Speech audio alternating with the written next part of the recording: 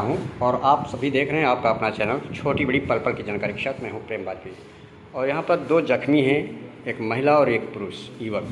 पूरी बात करते हैं ये जख्मी कैसे हुए हैं पूरी घटना की रूबरू कराते हैं अपने चैनल के साथ। क्या नाम है आपका? धर्मपाल। पिताजी का? सियाराम। घर कहाँ है? थाना? ये कैसे चोट लगी? है बहरेज जा रहे थे? आ, शाम को? शाम टाइम बहरेज जा रहे थे कहे से? कहाँ जा रहे थे? बहराइच। किसके वहाँ जा रहे? थे रमुआपुर जा रहे थे। साथ में कौन था? ये कौन है आपकी? आपकी पत्नी है। फिर कहे कहाँ पर हुआ है ये? थानगांव चौकी। गौलोक चौकी जो है उसी के पास। राजू गैस एजेंसी के पास। छोटा जानवर से टकराई बाइक जा रहे थे तब।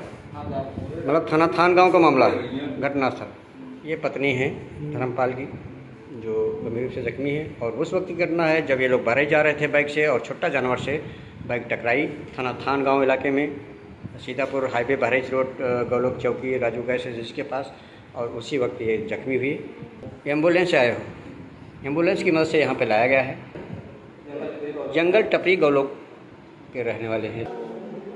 है?